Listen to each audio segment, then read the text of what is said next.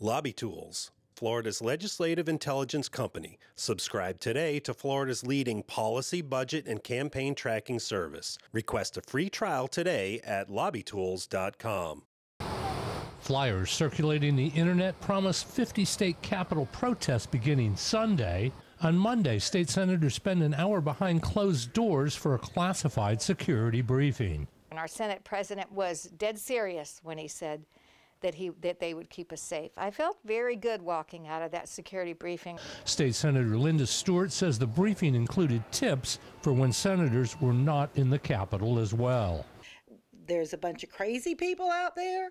Uh, we can't tell what they're doing. I've already gotten several flyers that are promoting violence, and I think that uh, we have to always be on our toes and be aware. The FBI has sent an alert putting all 50 state capitals on alert.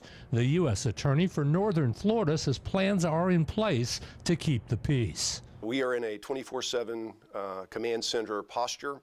And uh, I'm a great believer in transparency and accountability. And if you want the public to trust uh, assurances that uh, we believe that we have the situation in control here. In my decades here, security breaches have been few and far between, and none have ended violently.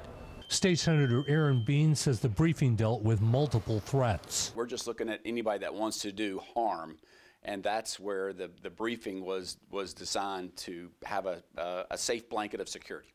Lawmakers themselves won't be in the Capitol over the weekend nor next week when the chances of violent protests are the greatest.